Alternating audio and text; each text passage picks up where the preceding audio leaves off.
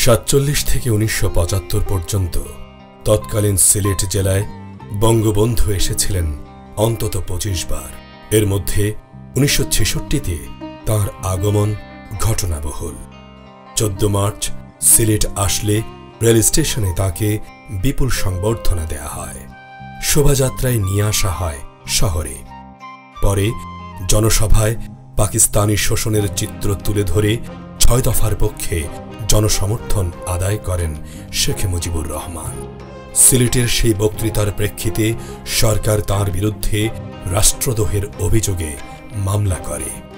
একুশ এপ্রিল ঢাকার বাসভবন থেকে তাকে গ্রেপ্তার করে সিলেট কারাগারে পাঠায়।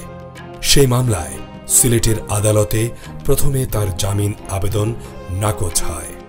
আদালত চত্বরেই বিক্ষুব্ধ জনতার সমাবেশ ঘটে এবং রাজপথ তার মুক্তির দাবিতে প্রকম্পিত হয়ে ওঠে।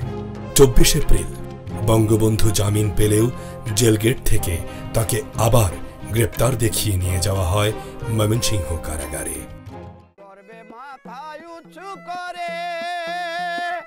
স্বাধীনের পতাকা উড়ে গর্বে মাথা উঁচু করে, স্বাধীনের পতাকা উড়ে বাউল কবি বেকা করে।